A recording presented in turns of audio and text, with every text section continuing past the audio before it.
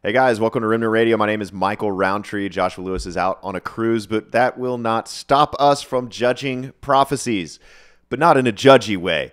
The scripture tells us to test prophecies in 1 Thessalonians 5, so we're going to obey that scripture, and we're going to test particularly prophecies from Destiny's Image. We have Patricia King, Kynan Bridges, and Tomi Arayomi. Both of all three of them have made uh, big predictions for 2023. So stay tuned. We'll talk some more about those.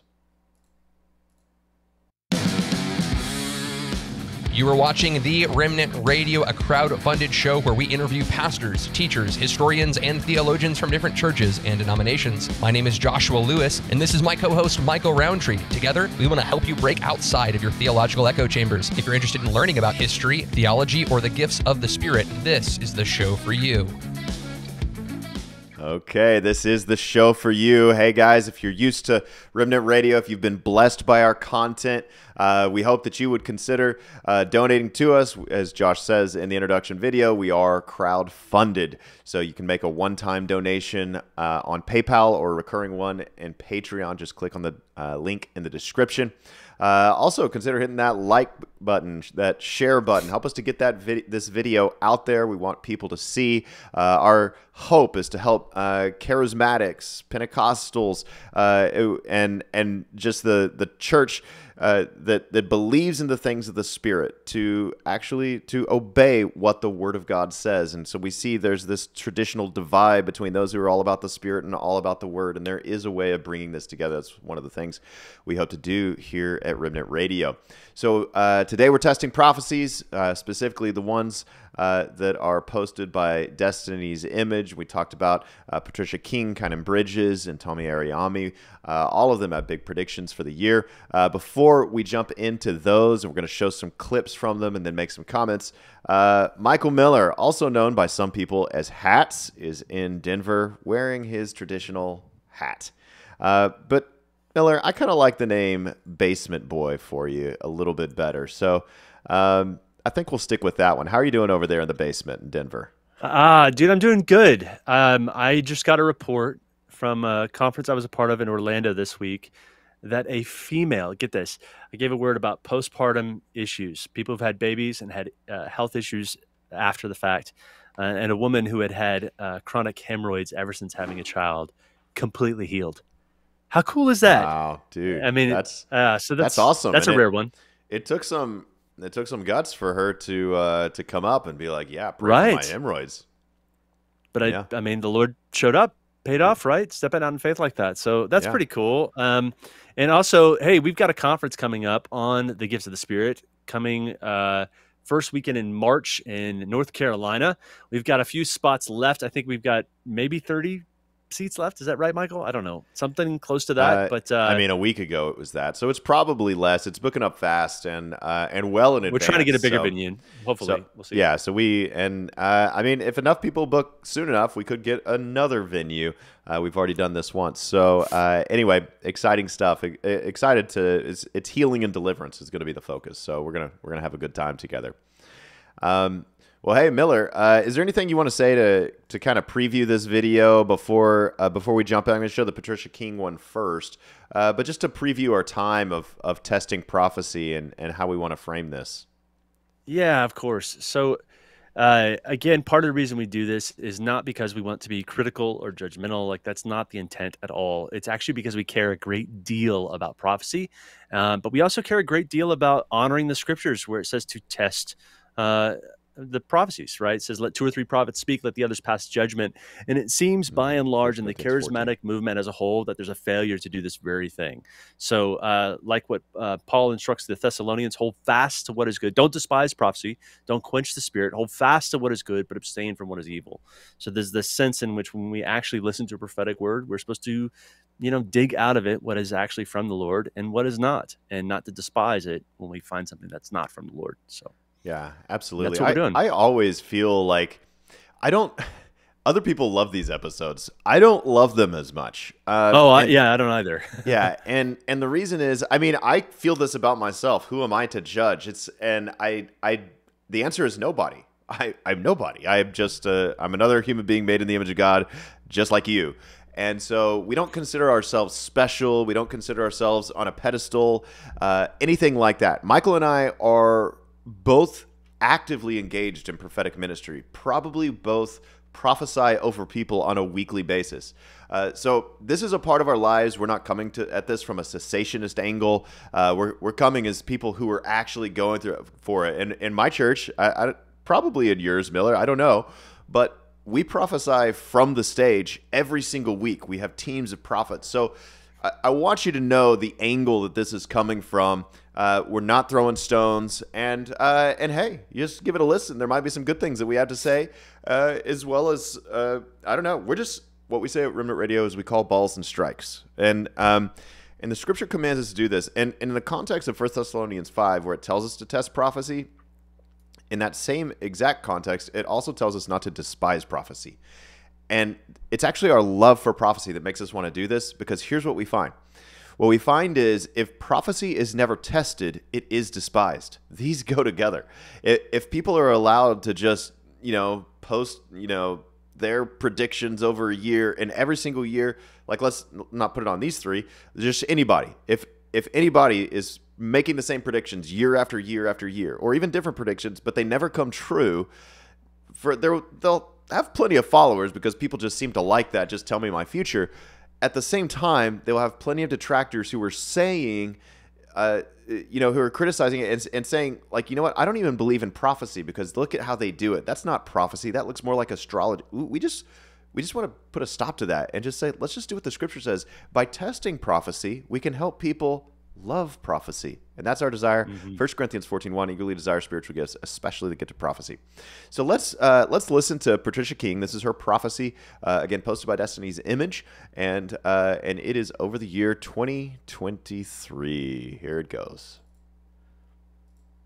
If Michael can figure out how to click a button. There it is. So I want to give you four words that are going to build your faith for the new year so you can start getting excited now about what God is doing. And the first thing, I'm all of these are visions that I've seen in prayer. So the first thing is that I saw the hand of the Lord moving on the generation of millennials and Gen Zs together. So the Gen Z generation is from about age 10 to 25 at this time.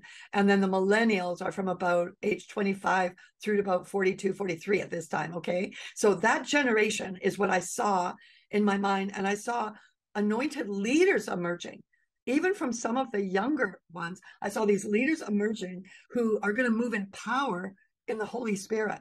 And what I saw on them was a conviction that the Holy Spirit was giving them toward love, faith, righteousness, and truth. And they were moving also in miracles, in signs, and in wonders. And I really believe that we're going to see an explosion of signs, wonders, and miracles in this new year. And some of these younger leaders that you're going to see, as they remain steadfast, immovable, unshakable, and faithful, over the years, they're actually going to grow up to be generals in their generation and they will be historical generals um, as we see the, the, the body being prepared for the coming of the Lord and the bride being prepared for the coming of the Lord. And I do see that as a fresh focus for the new year, this bridal love, this expectation for Jesus coming in power. And whether he comes to, you know, um, you know, the, the coming of the Lord, or if it's just his coming in a new season, we're going to be ready for him with oil in our lamp.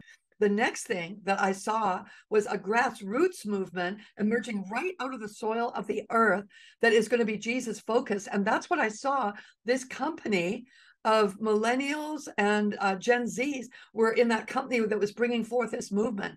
And it was just like rising up right out of the earth. A grassroots movement is what the Holy Spirit spoke to me about. And he said that um, that uh, this uh, movement is going to be Jesus focused. So it might be, you know, similar to the Jesus People movement, but not right. It's going to have different elements in it. It'll have a different personality, but what's going to be the same is Jesus focus. It's not just about anointings or ministry or missions or whatever. It's going to be Jesus, Jesus, Jesus, and all that Jesus is. He's going to be magnified in this coming season. And so these anointed leaders are going to emerge um, uh, and Secondly, this three uh, this um, grassroots movement similar to the Jesus People movement, but different. There's going to be a lot of conviction in that movement, and there's going to be a great harvest. And actually, the harvest has already begun. People are getting harvested. I have friends that have been preaching out on the street, and then people get so hungry they want to be baptized, so they're baptizing them in fountains right in the street. Or thirdly, rather, I saw a three-corded strand, and it was like this cord that was unbreakable.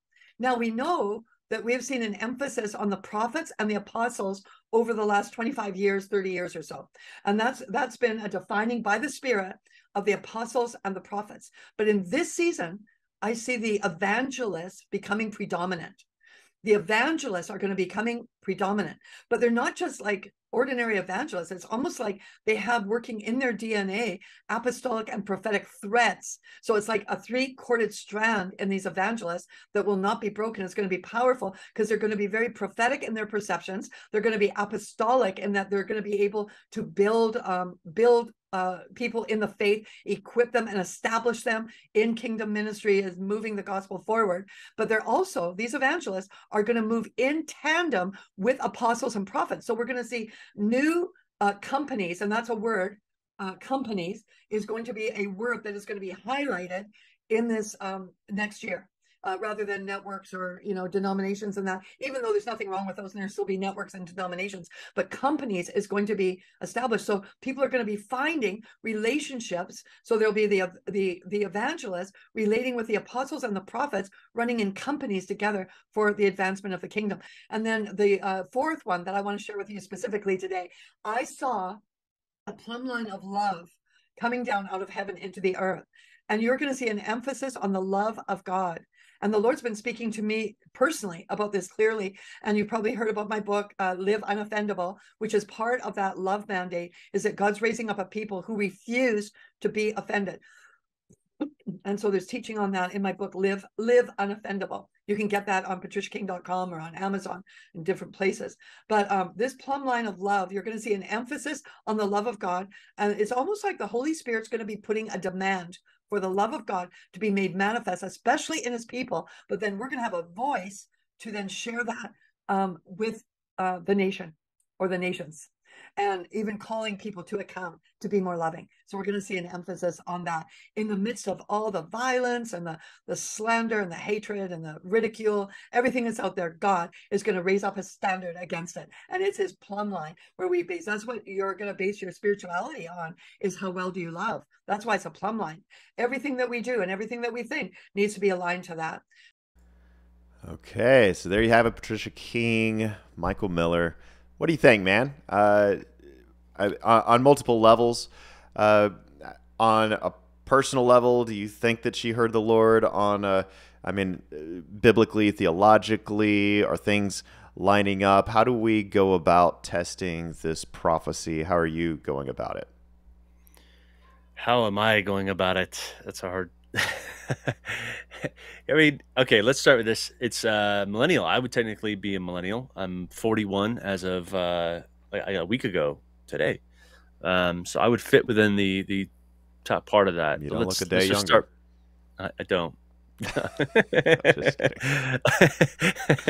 uh, I mean, okay, so let's just go bit by bit through this. Um, the very first word had to do with that particular generation and leaders arising.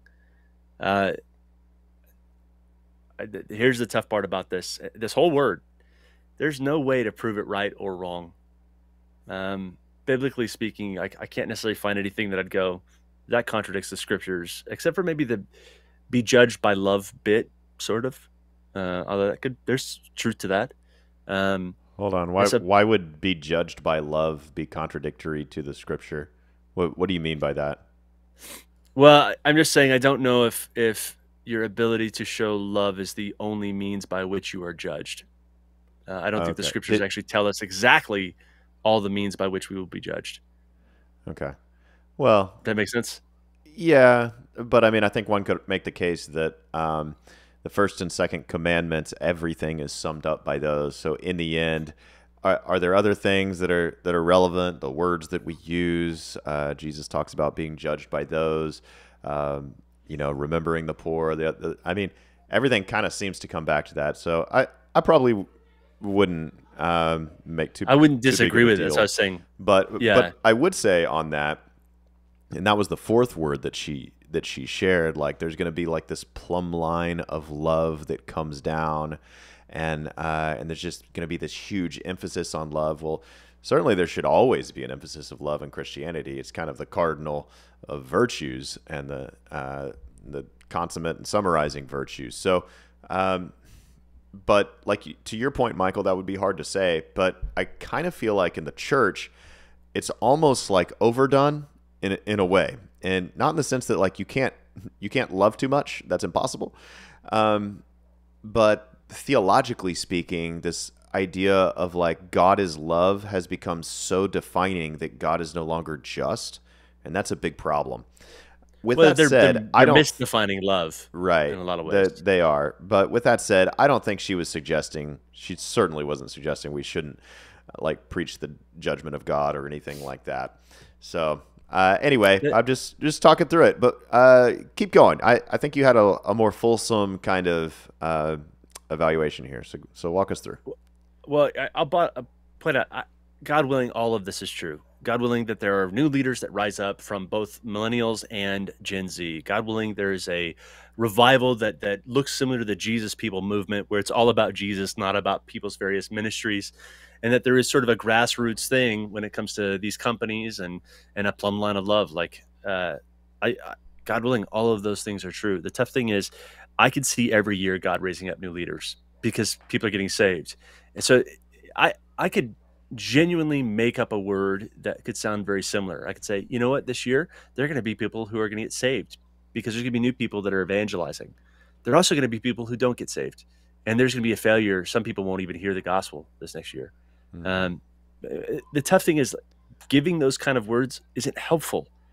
right Um, I think for her, she thinks it's giving people hope, but I actually would say maybe, maybe some people listen to that and they're given hope, but it's not the kind of hope I would want to anchor m- my hope in, um, because it it's not sure and there's no way to prove it, right and so that's the, yeah, the problem of, with of it. these words, just to, I mean, to your point on, on like, let's just talk about how testable is this, and and and part of the reason, uh, I mean, this is relevant. How do you test prophecies if they're not testable? Like, if they're always true? Like, if somebody was to say, um, some will live and some will die this year, you know, I've, I've actually heard that uh, prophesied. If you say those kind of things, well, that that is always true. So you can't really test something that's going to be true anyway.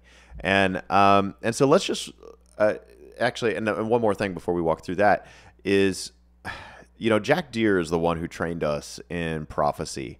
And Miller, when you and I were starting out, it was very much like, um, especially when we started getting into ministering from the stage. He, he would just say like, listen, don't don't do this. He would call. I think God loves you. like, he just wants you to know. but you know, don't do this like chicken noodle soup prophecy. I think is what he called it, where it's basically like you do stuff so general that nobody can test it. He said, "Take a risk," and he quoted his mentor John Wimber. Faith is spelled R I S K. Take a risk. Uh, that way, we we can actually test whether or not this is really a word from God, as if it's true. And so we we began to do that. So we have a passion for that, not just on personal prophecy, but on national prophecy. And it's actually even more important on that level. Um, so let's walk through. Uh, she talked about um, millennials and Gen Z ages. So ages 10 to 43, a, a move of God happening among them. To me, I don't think that's that's not specific enough. Uh, that's almost every single person is 43 and under. I, I don't It's know. half the I bet you that's more than half the population. Um, then we have uh, there's going to be a movement of power, love, truth, an explosion of miracles that is testable. Um, and Miller, I would say when she talks about a, a Jesus, something like the Jesus movement, that would be testable. It's one of those things that somebody can walk back if they want, and they can say, "Well, there were a lot of people that got saved in Tallahassee, and you know this month or whatever." You know, like people could say yeah, but the stuff. Jesus People movement was huge. It was huge. It was national. Got media attention. we Uh, called it the Jesus People movement because of how big it was. so it's if you're going use recorded those in- terms, Right. It's Yeah. recorded in history books. So just mark it down. Patricia King pre- predicted a revival that is of that caliber. the kind of caliber that gets recorded in history books. Like I've studied the Welsh revival, I've studied the Azusa Street revival, I, have studied these various revivals throughout history uh, because they're marked down as historical movements, and um, and so but that's what she's is, prophesying. So uh, I would say Miller, that is testable. Would you agree with me? No, because she says it's going to be like the Jesus People movement, and that doesn't necessarily okay. mean in size. She could say, "Well, when I meant when I said like, I meant this." So again, she could always, you well, know. I did say she could walk it back. She she could walk it back. To your point, um, she talked about a three chord strand: apostle, prophet, evangelists. They'll be raised up. Uh, is that testable? A plumb line of love is that testable, Miller? he shakes his Sorry. head. Sorry. Hey, I wish I wish I, I again I, I went and looked at Patricia King's website. I wanted to make sure that we were reviewing somebody who is Orthodox faith, and she just has the the creed as her statement of faith. The Nicene um, Creed, specifically. Nicene Creed, yeah. Okay. Yeah, which I mean, I good on her. That's a that's a good thing. She's saying she believes everything in that document. That's fantastic. Um, I think that t- so. So here we are, somebody who's claiming to believe what I believe. I believe in the Nicene Creed. Um, uh, but when it comes to uh, prophecy, I, I tell you this, man. If, if if you can't test it, I wouldn't follow it. Yeah. Yeah. I I would agree with you. And and I think there's another standard uh, another standard too. And uh, although even before I get to this next standard, I I do want to say like when she talks about the the rising up of the evangelist, I will just give my kind of observation that I've seen in the body of Christ. Man, I have seen more evangelism than I've seen in a long time. Uh, of a like a different like street evangelism. Um, my, I mean, in my church, we're seeing people get saved every single week. Um, and at my last church uh, that that I was at, kind of at the tail end in that last year, we were seeing a lot of salvations, and a lot of it came by street evangelism. Um, to your point, Miller, this would be really hard to test, um, but I'm just trying to show a little bit of of goodness here. You're being more know. gracious. I'm trying I, to be just, a little. I'm gracious. at that point. You are. You are, and I, I I wish I was there. I think I'm so frustrated and and I was last week when we did the other review, which is why I don't like doing this. I don't like feeling frustrated. Yeah, I'd rather stick to the things that I'm like, good, this is yeah, actually happening. Yeah, I, you know, you're like, I don't like feeling frustrated. I like to feel good. That's true. I don't. I'm, yeah. I'm tired of this okay. kind of stuff. I really am. Well, here here's so. the other standard that I was mentioning, and that is, if a person is delivering national level prophetic words, I want to know what their track record is. Has this person uh, hit been on target before with national level words. Uh, ha, even if they've m- maybe missed on occasion, have they apologized? Have they repented? Maybe have they taken a step back, sort of like Jeremiah Johnson did after he missed the Trump prophecy? So uh, I, I want to know kind of what the track record is. And Patricia King's been doing this year after year for many years. And so I just looked up 2022 prophecies.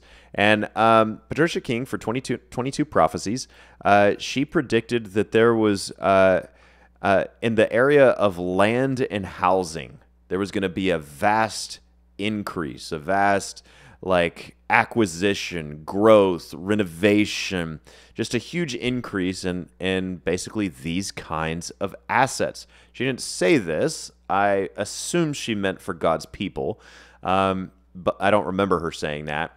But basically, just lots of land. Now, on some level, and Miller, I'm curious what you think about that on a testing level. But I, I think that was kind of testable because I tested it. I, I looked it up because I'm also aware I bought a house in the last year and sold a house in the last year. I'm aware of changes in the market and the interest rates have gone from ground level historical lows uh, to getting up there a little bit. Mm-hmm. And I I know, and I've talked to real estate agents and, and read about the trends. Like things look like, you know, some people are talking about a housing market crash uh, being around the corner. So I thought, okay, if uh, if these kinds of land and housing, if there's a massive increase in these things being acquired, we should see this this kind of market just hopping, selling like hotcakes. And, and by the way, when she prophesied that, that was already happening. So I don't actually really like that. Um, but in 2022, things slowed down drastically. In 2022, uh, I looked at bankrate.com and in November they noted a that the housing market or the housing prices have peaked, and that there is uh, and that there was a ten month decline in those kinds of transactions.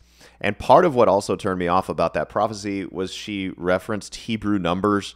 And, and Patricia King does this. She'll look at the, the year, it's 2022. There are lots of twos. Uh, or she'll look at a Hebrew calendar and she'll say, based on this number, based on that. Uh, it feels a lot like the pagan practice of like, should we go to war or not? I don't know. Kill this animal, open it up, look at its guts, and you know, some oracle reader comes along and says, "Oh, the guts say we should go fight," and that was the way the gods communicated. Now, I am not accusing her of paganism by any stretch. What I am saying is I'm uncomfortable with how close this gets to something that looks more like divination. Uh, it's not that. Hear me. It's not that. I'm just I'm uncomfortable with it. I'm uncomfortable with like, well, this date it means that. Now, to to show a little grace, like God can use symbolism in something like a date. You know, the day of Pentecost, the feast of harvest, he pours out his spirit and there is a first fruits of a global harvest in response to Peter's preaching. Okay? So uh, that's why I'm not going to call it divination. Like that, God can make connections and that kind of thing. But when you see this thing year after year after year, you start to say, okay, one, she missed the 2022 prophecy. I have not. I looked. I could not find. Maybe she did, but I, I, I didn't see it. Feel free to send it to us, and I'll and I'll apologize. Um, I didn't see any apology from her saying, "Hey, I missed it. Like this was actually, you know, land and and real estate actually uh, slowed down in the amount in which it changed hands, Christian or non-Christian, doesn't matter. It actually slowed down. It actually didn't move. So I, I, I, look at the numbering system, which has never worked year after year. It's never worked, and uh, looks kind of close to divination. Wouldn't call it that, and then uh, but close. And then the the fact that her prophecy was actually wrong. I just look at it all. I'm just like I I would not go to. Uh, for all the wonderful things she probably does for our Lord Jesus Christ, I consider her a sister. Uh, I would not go to her for prophetic ministry on a national stage to find out what God is going to do next in our nation or in the world. Miller, uh, what, what do you think of what I just said? I, I, agree with you completely. I wouldn't I wouldn't even say it's close to divination. I would just say she's making connections that aren't there, um, and because of that, she's there's a track record of making connections that aren't there, and for that reason, I wouldn't follow it. Um, and I think, quite frankly, she needs to own this stuff. This is the the issue we're seeing is a failure to be accountable to what you've prophesied in the past. Yeah. Um, one of the practices that we've always advocated for, especially in a local community setting, is that anytime we prophesy to someone, we ask their name, we record the word. That way, if there's anything that is not of God, we can be held accountable and make it right and clean up whatever mess we've made so much as it's up to us to clean it up. And so she has some mess to clean up. Okay. Well, hey, let's uh, let's go ahead and listen to the next one. This was this one is from Kane, uh, Kynan Bridges. Number one, the Lord spoke to me concerning 2023, and He said that 2023, the year 2023, would be a time of great deception. Deception would become a culture. There would be a culture of deception, and that we must beware. We must beware of deception. I'm talking about deception in media, deception in the religious mountain, the church mountain, deception in the political mountain, deception in business. There would be deception in so many areas, and that we needed to guard our hearts and our mind against deception. Against deception. There would be such a strong push in the area of deception that people would literally lose their minds because of the great deception. People would begin to question their reality. I'm talking about the kind of deception that Paul talks about in Thessalonians. It gets into the area of delusion. The Bible says that, he would send, uh, God would send them strong delusion that they would believe a lie, that they would believe a lie. And it talks about deception. It would be a time where there would be a push for great deception. And if you are not on guard, if you are not sensitive, but more importantly, if you are not biblically literate, I need you to hear this. If you don't understand what the word of God says about various issues, whether it be about social issues, whether it be about moral issues, whether it be about relational issues, whatever the case may be, you would fall victim. If not careful, if you're not careful, you will fall victim to such a spirit of deception like we've never seen before. Please pay attention to this. Because even though you, many people say, well, that's already happening. No, you've never seen anything like this. beginning with the first quarter of the year, they, they would begin to monetize and systemize this deception, that it would be a systematic thing. And that if you're not really in the word, if you're not really in the word of God, if you're not really abiding in the truth, then, then you would be susceptible to this kind of deception. Okay. Number two, write this down because this is so important. It's coming uh, in in in uh, the days uh, to come. In the days to come. Not only would it be a lot of deception, but there'll be a lot of distractions. A lot of distraction. And what is a distraction? A distraction is something that's meant to take your attention away from what's really happening. I'll give you an example. As we speak, they're talking about, you know, all these committees and they're talking about all these panels. But look at what they just approved. Trillions of dollars are being spent. Trillions of tax dollars. Trillions of tax dollars are being spent right now. And it's being spent while people are distracted with other things. People are looking over here to the left, but pay attention to what's going on on the right. When they talk about food shortages, when they talk about wars, and and and you know there will be an increase in sort of the the the fear of global conflict, not necessarily global conflict, but the fear of global conflict. Pay attention to what's really going on. Pay attention to what's really really going on. Do not be distracted in this season. And that's why the things that God has shown you in dreams, the things He's shown you in vision, visions, but more importantly, what He has shown you in His Word, lay hold on those things. Lay hold on those things. Do not let go of what God has spoken to you. The many of you, I'm telling you, God's going to do some things in 2023 that are very, very supernatural. That are very, very supernatural. But you must not be distracted. Stay focused on the Word of God. Stay focused on what God spoke to you. Stay focused on God's promises. And do not be moved by distractions. Do not allow things to distract you. Do not allow things to take your attention off of what God is speaking and doing in this season. He told me to warn you, to warn you against major distractions. And like I said, I'm going to be very specific. We're going to see it a lot in the political arena in, in the first quarter of the year, going into the middle of the year, where there will be many, many things that are said, legislations, committees, and panels, but they're all smoke and mirrors. They're just a show. They're not, there- there's no substance to them. Don't be distracted by that. They're, they're designed, they've been strategically orchestrated to take your attention and your focus off of what you ought to be focused on. To take your attention and your focus off of what you should be concentrated on. Don't be distracted. Don't give in to fear. Don't give in to fear. Don't give in to fear. Do not give in to fear. Don't give in to the, you know, it's this distraction, taking your attention off of what God told you, taking your attention off of what God spoke to you. This is very, very important in the coming year. And the Lord told me to warn you against this. Number one, warn you against deception. Number two, warn you against distraction. Warn you against distraction. And to warn you against, listen to this, disappointment and despair. The Bible actually says, let not your heart be troubled, neither let it be afraid.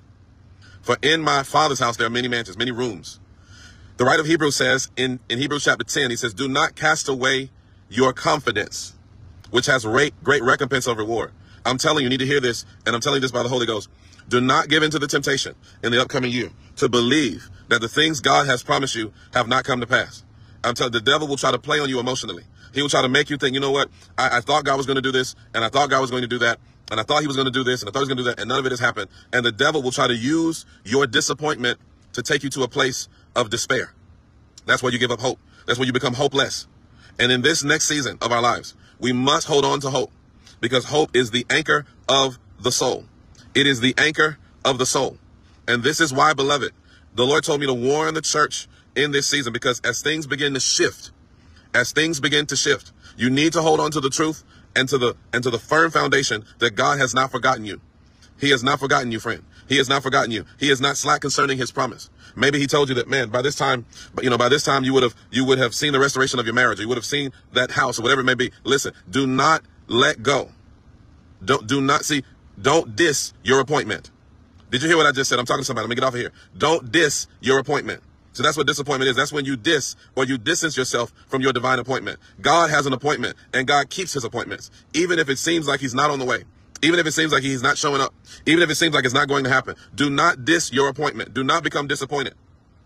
Do not become disappoint, disappointed, friend. Do not give in to the overwhelming. I'm talking about you. This is a season where the devil will try to destroy people with disappointment.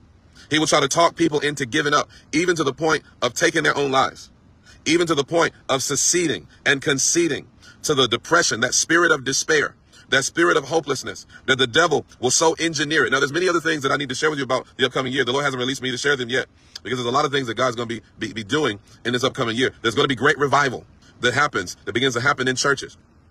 there's going to be another push, another push in terms of infectious diseases. Infectious disease will be one of the talking points in 2023. In 2023. But also, there will be unprecedented miracles, unprecedented and documented miracles globally. We're going to see the church explode in the area of miracles, signs, and wonders. But those are the three things God told me to tell you right now. Okay. All right, there it is. Miller, I'm going to summarize it, and then I'm going to start out by asking you um, what are some positive things that you can mm. see in this prophetic word? Okay, so uh, summarize is really deception, distraction, and disappointment. Those were the three. This is a year of great. Uh, of great deception. So hold on to your Bible. Make sure that you're biblically literate or you'll be deceived. Uh, don't be distracted. Uh, trillions of dollars are being spent and government's doing this and that. People are afraid of various things. Don't be distracted. Keep your eyes on God. Uh, God's going to do great miracles and focus on that and what God's doing. Okay. Uh, three, disappointment. I'm going to put disappointment slash despair as a single word. Uh, be careful about disappointment. Make sure that you're not giving in to disappointment, that you hold on to your confidence in God. Devil's going to cast a bunch of shade. All right. So that was basically the word. And it seemed like the end. And he's like, the Lord told me I couldn't tell you the rest of the big stuff that's happening this year. But then it, it was almost like a PS, like, uh, but there will be a great revival and infectious disease is going to come back up again, and there will be tremendous miracles. So, um, I don't know. That that seemed like it's three more summary. words. That seemed like three more words to me. But uh, Miller, so that's the summary. Um, what's the positive? positive? What do you see that's yeah. good in your brother in Christ? Okay, so uh, I I liked the beginning. If this was a sermon, I would have been like, "Preach it, brother. You got it." This is exactly what we need. He even has he even has the alliteration going with the three Ds. Like, do you, right. are you living a three D life, or are you just living in two D? yeah, no, I, I did. I mean, I, as far as like this is what a prophet in some level should do. He was calling Israel back to faithfulness to the covenant, to their God, and to the the word, uh, and that's what he was doing. He's saying, "Listen, we're entering into a time of deception, and you will be deceived if you are not very well grounded in the, the scriptures." I agree with that sentiment Amen. in a general sense. And he's even quoting about, you know, quoting from the scriptures about how there's coming a day of great deception. Um, so, I mean, in some sense, Paul prophesied exactly what he was prophesying. He's just kind of saying it's being fulfilled today. Like this year is this is going to okay. happen. You're going to see this wholesale and even monetized. I thought okay. that was interesting. Um, well, okay, then, then what else? If we want to shift gears, uh, what what would you have some concern about? Well, my concern is that it's no way. To, like again, it's it's hard to test some of this stuff. A, a, major explosion of revival and m- the miraculous. Okay, we can test that. If I don't see that happening in this next year, if that's not like something that's noteworthy, diseases. yeah, right. If that's not something that's noteworthy, we can at least walk away and go. We can test that. Yeah, that, uh, that's why I was I was a little bit like I felt the same way. I was like, oh, we can't test any of this. Like uh, the deception. I mean, we we already had like. Uh, a respect for marriage act that was passed uh, that disrespected marriage. Like we're we're changing language, everything. It, we we have so much deception going on in our world. There's so much distraction. I mean, look oh, at my iPhone. I mean, I'm getting text the messages while I'm doing this show. Election. Disappointment, despair. Like the yeah. devil's always doing those kinds of things. So uh, you you can't measure it. And then so I was like, okay, that's a not measurable word. But then he got to the end and he said. And there will be great revival, and infectious diseases will come up, and there will be an explosion of miracles. Uh, that's that sounds more on the testable side. Yeah, I agree. Uh, I, yeah, that's how I felt about, and I, am glad he said that because I'm glad he gave us something to which we could actually go back to. I will again. I, I like this one a lot more. So, I just I can imagine. Let's just take. This is just me imagining some Hold person on. When, you, when you say you in. like this one a lot more, what do you mean? Like you like this better than Patricia King's words? I did because there's so many things that are very scriptural about scriptural about what he said. Like the idea that you're going to be deceived if you don't know the scriptures, drawing right. people back to the word. So th- there's a lot that I like about that, and maybe that's just because I personally that's that's an emphasis I want to make in my own community, which is why we go exegetically through a book of the Bible at a time, so that people are well founded in the scriptures. But um, oh gosh, I lost my train of thought there. There was something about that in particular. Uh, yeah. Uh, I lost my train of thought. Okay. Well, that that's fine. I um you know, one of the things I noticed, he he mentioned the mountains, like the political mountain, and he named a couple of mountains. Um, you know, this is the seven mountain theology and uh, kind of dominionism, and it's always a little bit of a a, a yellow flag, at least for me, when somebody's um, personal theology bleeds into their prophecies, and um, you know, I, I I don't know. I don't love that. It's not like I would dismiss this uh, Because of that. for that. I mean, I, I think for me that the big thing is this is this is not testable. Um, but I, I did do a review of of uh, his 2022 prophecies as well, I- and that theme came up again. Dominion. Uh, this is the year of dominion. So the seven mountains theology. It's basically, hey, there's a mountain of government, there's a mountain of entertainment, there's a mountain of like a medical kind of mountain. There's there are all these different kinds of mountains, seven of them to be specific. And until Jesus returns, we need to populate the seven mountains and take dominion over the seven mountains until Christ returns. So we're kind of readying the earth till Christ returns. That's seven mountain theology and uh, dominionism. And there's lots more to be said on that. We've done episodes on it, but. Um, Anyway, uh, his prophecy for 2022 was this is a year for taking dominion, which is from that dominion sort of seven mountain theology. Um, he says this, you know, before the church has just sort of survived, but now we're going to thrive. And uh, he seems to be talking specifically about the church in the West because he says uh, we'll begin to have influence on culture. The church has lost its voice, but in 2022, we're going to start feeling like we regained our voice, and God's going to be giving us voice in government. He's going to start giving us voice in entertainment, voice in the culture, influence in these regions, and the church is going to look like it's thriving in 2022, where it was just surviving before. Um, I think it's relevant. Has the person had accurate prophecies in the past? And um, Miller, based on that, would you say that was accurate? Has the church taken dominion and uh, gone from losing our voice to regaining our voice, specifically in the West and government and culture and movies and, and so on? Like, have we done that? What would you say? I mean, uh, it depends where you're looking. In some sense, Christian media has actually become more popular. It's making more money. It's becoming more marketable. Uh, the Chosen uh, has been funded for another season, right? So we're seeing that kind of stuff happening in, in that mountain, so to speak, if you buy into it. Um, so some level, yes, but then also if you want to look politics, I mean, maybe, maybe not. I mean, just depends if you think that the you know particular leanings of our our, our House, our Senate, uh, and our presidency have we gained any political ground? I don't think so. Uh, I could be wrong. Yeah. Um, not. I, I don't think so. I did remember something I was going to say earlier. Uh, something Yeah. I did like about this. I, I can. What I was going to say is I can imagine some random person going through a really difficult time. This video coming in and they're going, "Oh wow, I shouldn't be disappointed. I shouldn't let that get to me. Right. I I shouldn't. I need to ground myself in the Word, and that might actually motivate them to do that very thing. And it, God could use it prophetically, so to speak. Um, all that to say, I could imagine that, which is why I did like this word better. That's one of the things I was trying to say. yeah. Um, anyway, but regarding last year's word and this year's, maybe. Yeah, I mean, the the fact that the chosen has gained popularity, I don't think is enough to say the church felt like it lost its voice, but now has regained its voice. Like, No, I wouldn't go that far. that couldn't be like a reference just to the chosen, which was already out and already pretty popular. So uh, I think it has to have been more, especially because it, he touched on multiple mount, like having a voice in culture. Like I don't think the world is like, oh, look at these Christians, they came out with the chosen. Man, they're encroaching on us in Hollywood. We're gonna, uh, it, you know, I I don't see that kind of like. we certainly have it listen in Christian- education. What's that? I would say we've lost. Well, I'd say we've continued to lose our voice in education. There's a reason why certain ideologies are being allowed to be promoted. Uh, I mean, it, it, I won't put my kids in the public school here in Denver for that very reason, because of what they're going to have to combat ideologically speaking when it comes to issues of gender, uh, sex, uh, marriage, all of those things. Uh, traditional Christian values in those arenas has been lost, and that voice has been lost. right. Um, I- Yeah. So I wouldn't say in that arena, especially.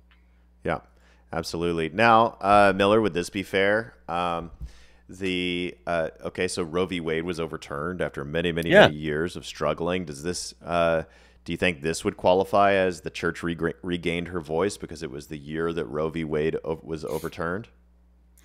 Um, maybe in some level, but the problem is, is you got half the states doubling down. I mean, here in Colorado, you can have a an abortion up to the day of. There is no country in the world where that was normative. This is this is uniquely uh, evil. Right. Um, yeah, and actually, the the uh, Respect for Marriage Act was passed as a result of, uh, Roe v. Wade. an opinion from that decision in Roe v. Uh, in Roe v. Wade. Actually, is that right? Um, no, I think I'm not I said, sure. Yeah, I think I said that wrong. Anyway, okay, forget but that. the fact forget is, it passed, and it's not exactly our voice. Right. Behind it. Exactly.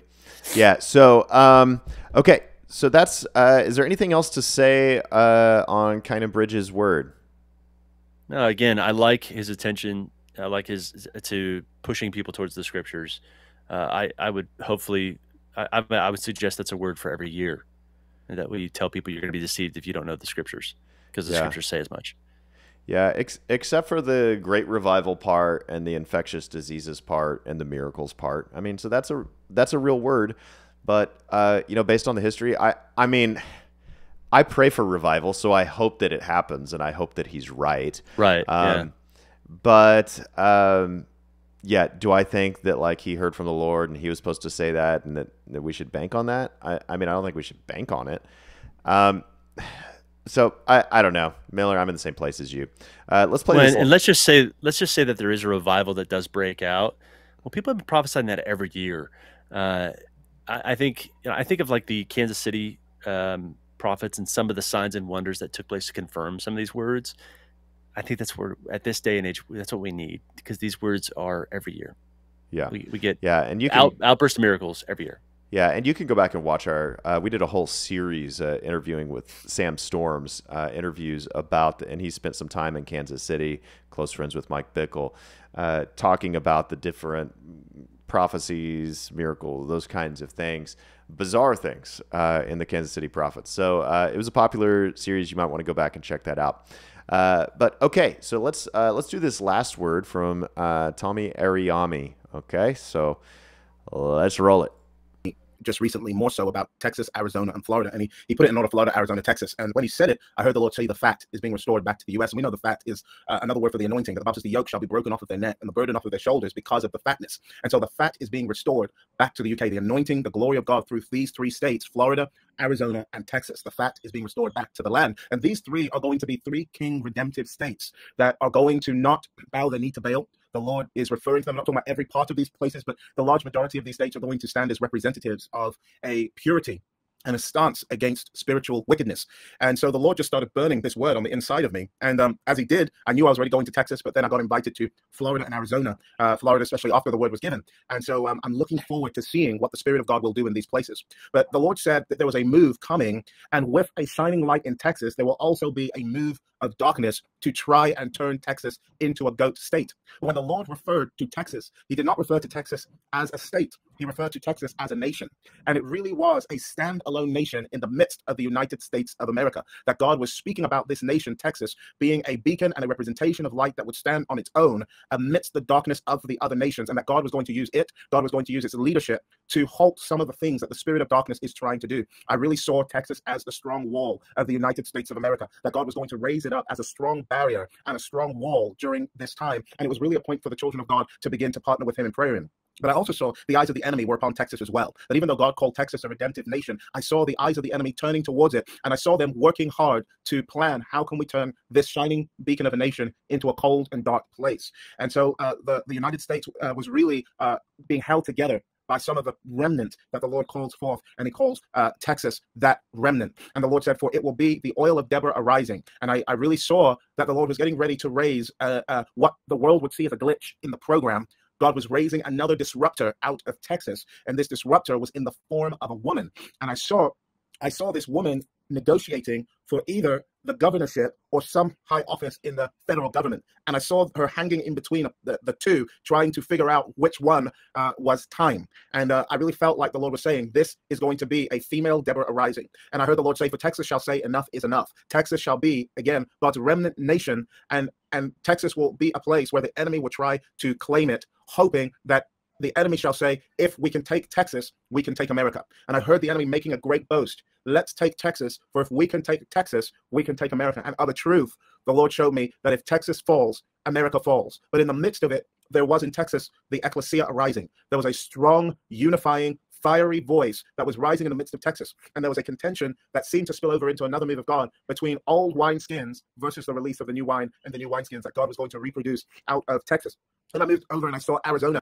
And the Lord said, Watch as I turn your sand into a red fire. And I had no idea and Texas was or would be on fire. I don't, I've never been to, uh, sorry, Arizona. I've never been to Arizona before, so I'm not too familiar with it. But the Lord said, watch as I turn your red sand into a red fire. And watch as I sing a new song over you, as I turn the desert into a pool of blessing. And suddenly you will say, where the eagles gather, that there shall be another river. And I literally saw a mass move of spiritual leaders to Arizona like eagles, and they were forming unions and strong bonds that would deal with uh, revival, but also would deal with politics, also would deal with corruption, also would take back uh, public schools and education, would also take back faulty prison systems, uh, take back abortion laws that have led to the deaths of millions, take back what little oil and gas that was there that the enemy said uh, that he was going to rob them for, and even create what looked like a competition. And this is something I saw today between LA and Arizona for some kind of um, new solar farm plants that the Lord was going to make Arizona the largest solar farm competitor in the United States of America. And it was said of Arizona, this will light up America. And I believe this was speaking literally and not just figuratively. I saw that the Lord wanted to stir a revival fire from Arizona, but I also saw the enemy moving to do some uh, zoning or something with rezoning to try and uh, change different political catchments to favor itself. And I just felt like there was a strong resistance rising against something to do with zoning and something uh, to do with election integrity. From the, na- the, the, native Indian roots, the Lord said, I will rebuild broken down relationships. I will touch the hearts of native leaders to release the good of the land and redeclare it sacred, but unto God and not unto wolves and jackals. For this will be a day of the Arizona awakenings. For I will open its seven eyes, and two only shall remain shut. And I really believe the seven eyes were speaking about um, seven, uh, uh, um, I guess uh, in UK we call it counties. Here in Nigeria, I don't even know what we call it, um, but maybe region zones or counties that were going to be broken down into that um, seven would experience revival and two would stay cold.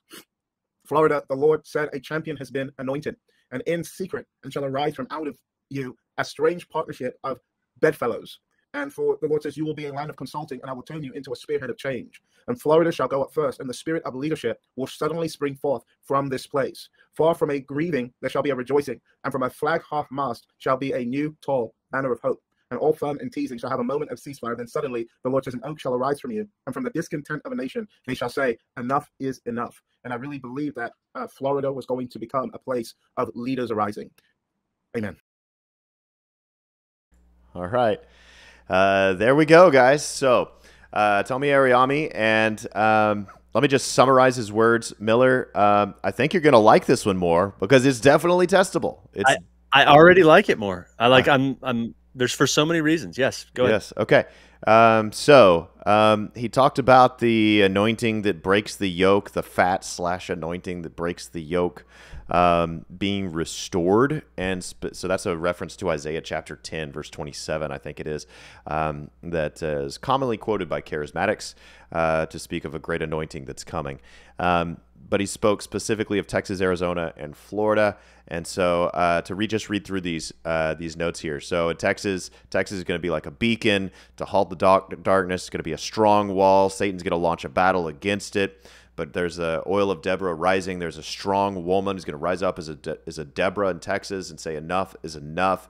As it goes with Texas, so it'll go with America. Whether we rise or fall as a nation, it's going to hinge on Texas, and uh, there'll be some kind of new wineskin, new move of God in that context.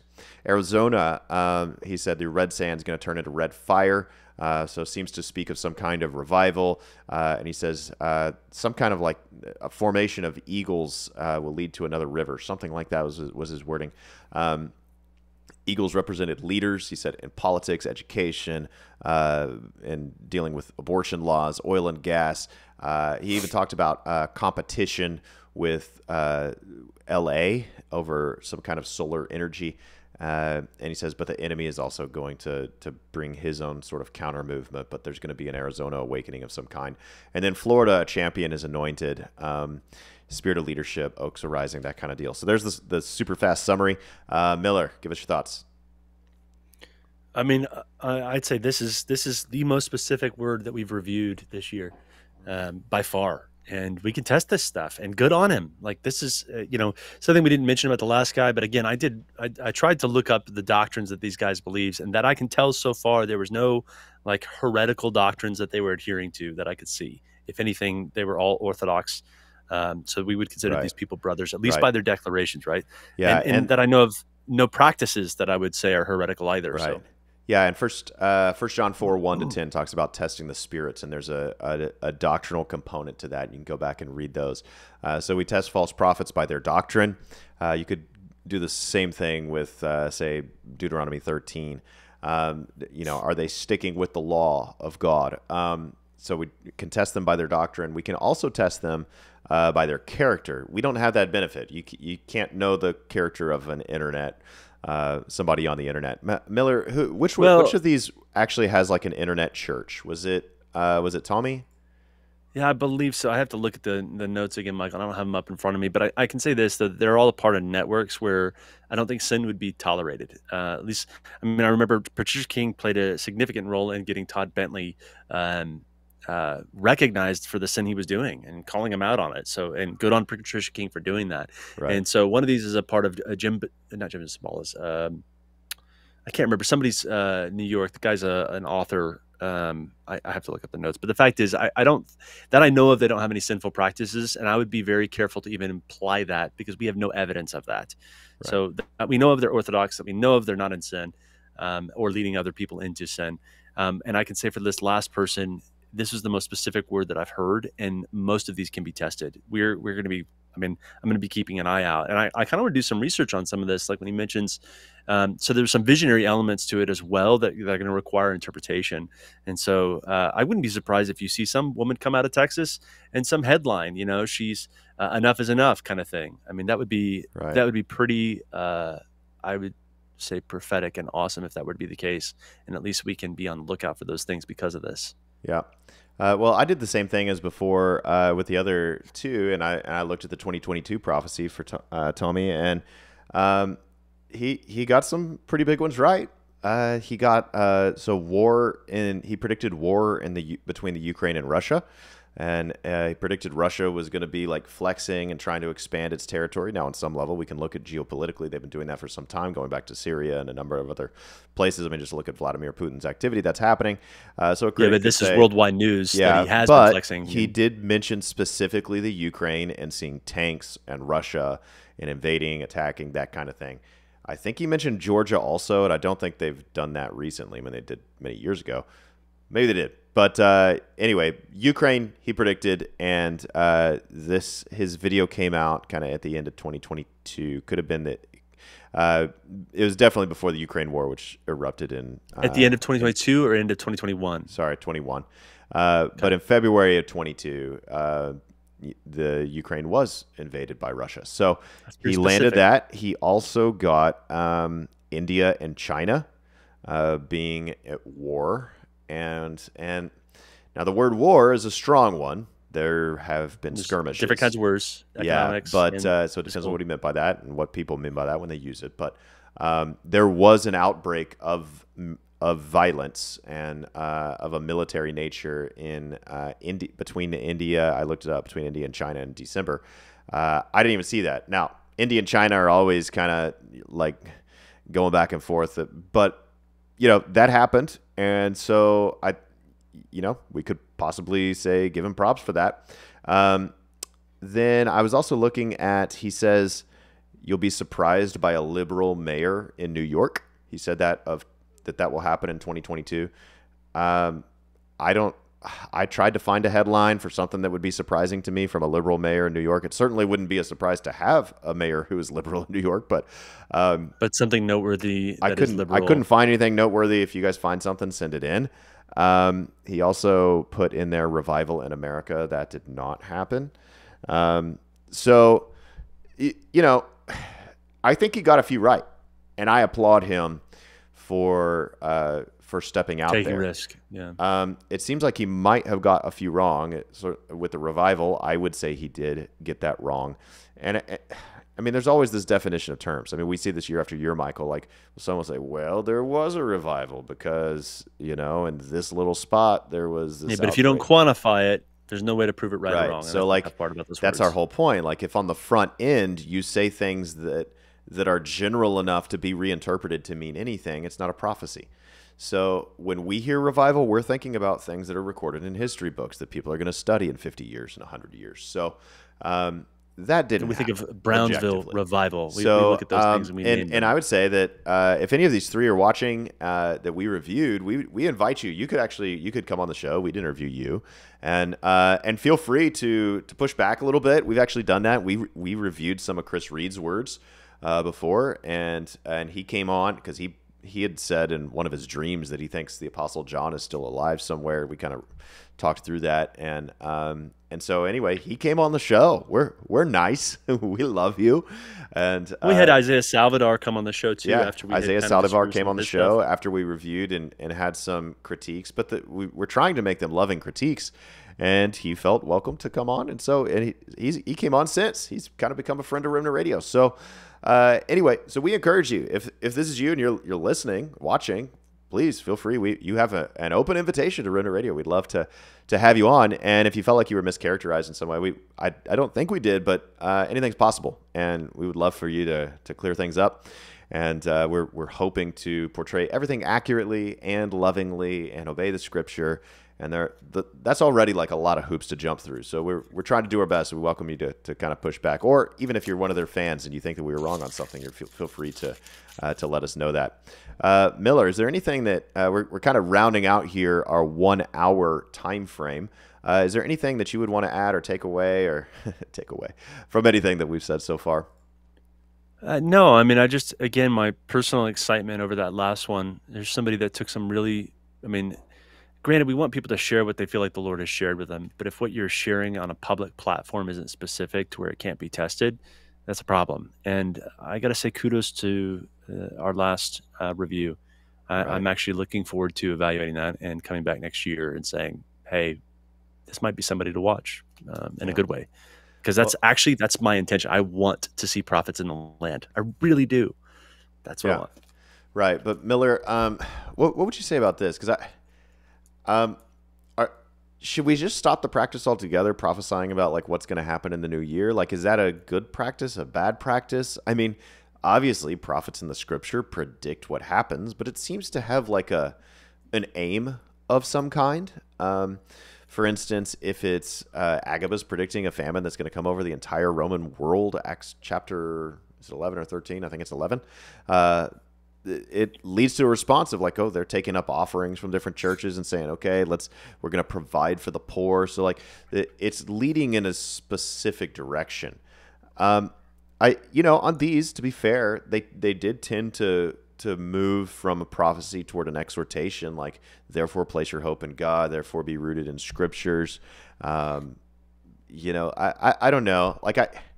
I'll just speak for myself, I got mixed Miller feelings. if there's Yeah. if there's an exhortation that it like because God is because my sense is that God is saying this, therefore we need to do this. Um, and it, and it's something specific, not just like make sure you love people. Like we we need to do that anyway.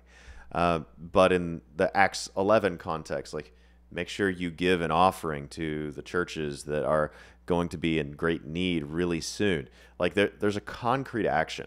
So I would say if let's not do global prophecies that are merely for speculation. Let's attach it to like the the application. You know, we talk about this sometime. Revelation, interpretation, application. Like, what do we as Christians do with this? Because otherwise, I mean, I, it can get to where we're just throwing mud on the wall and seeing what sticks, or it can it can get to starting feeling like uh, Christian astrology. Uh, how does this affect me as a child of God and obeying Him and and pursuing Him? That's what I want to know. And um, so I would just encourage if we're going to share those kind of words that we do it in that context. And and also um, we've done a lot of reviews, Miller, on Deuteronomy 18 and and just kind of unpacked precisely what that means and how one should interpret that about you know do you stone a false prophet do you not um, and and so I don't want to like unpack that all again um, basically we you know our understanding is that a, a prophet a prophet can miss a prophecy without being called a false prophet. But Deuteronomy 18 does seem to reflect someone who's sort of a national level prophet in this case sort of a, a messiah poser in their context. But uh, there is a higher level of accountability for national level prophet than somebody who just prophesies over a single individual. Just like I think there's a higher level of accountability for somebody uh, who's preaching to 50,000 versus somebody who leads a, a, house church of 20. Right? I, I mean, they, they're both accountable before God, but there's a difference in terms of like the, the level of, of scrutiny uh, and, and accountability. And so I, I think that if people are going to uh, with these prophetic words specific. Like if we're going to share these words, we should feel the fear of the Lord. We should have fear and trembling before we share it. And if we're wrong, we should own everywhere in which we're wrong. And honestly, if if we're if we're kind of wrong a lot, we really shouldn't do that again. And, and maybe even if we're wrong, I don't know. I'm not going to put an amount on it, but um, it, it's it's really something that we need to fear God about and and I would say definitely repent. Like don't just say like acknowledge you missed it and say I'm sorry. Um, so I, I, think I would say that. Miller, do you agree with me? Uh, on most of that, uh, the only thing I'd push back on is um, the idea that it has to have some tangible application, like take up an offering for a particular place. Um, because sometimes the application is just simply this: letting people know that God is sovereign and that there's still a God that speaks to a nation. Yeah. Uh, and that, that has application. It, it, brings security to the people of God to know that God is still revealing uh, what's going on to the prophets in the land. So, um, and, and, the other thing I would say, and maybe where I push back also, is everybody lives on a, on a, calendar and uh, on a cycle. And so for a person to give a prophetic word for the year of whatever, I find it suspicious but at the same time, I can also understand people sort of resetting their year, taking time to focus on God, listen to Him, and you know share what He feels like God is sharing. So yeah. th- I think there is room for that. I, I, do find it a little bit suspect though, yeah. especially uh, the numerology stuff. Like this is the year of this because it's 2023. Like I, I don't buy that. Don't listen to that. That's yeah. not good. Yeah, I I think that's fair pushback. I think on the um, I'm probably in the exact same camp as you. Like I, I wouldn't say it's totally wrong. I would just say I'm a little suspicious of it. Uh, prophesying over the year. Uh, on the first one, I you know when I think of like when Isaiah is prophesying, like hey, you know Cyrus is going to be raised up. To your point, it's uh, so he's predicting specific things that are going to happen, and it is to show that he's sovereign, to show that you right. know he uh, he's the one who controls the future, not us. And so that that is a, a routine uh, we would like to see some applications. Yeah, but even yes. with that, I would say God is doing this so that people will place their hope in Him, and that becomes sort of its own expectation. And maybe that is their expectation. And and I would say again, to be fair, I think they usually, I think all three of these in their prophecies did have some kind of exhortation that went through it. I went with it. Yeah. But anyway, uh, well, those are those are our thoughts, and uh, I hope you liked them. And if you didn't, I'm sure you'll let us find out in the comment section. You always do. um, so, uh, guys, hit that like button, hit that subscribe button. And uh, if you wouldn't mind considering donating to Remnant Radio, helps us pr- continue to produce these videos and get them out there as we preach the gospel of Jesus Christ. And uh, so you can see all that information in the description for uh, for this video. And uh, look forward to seeing you guys next time. God bless you all, and have a great week.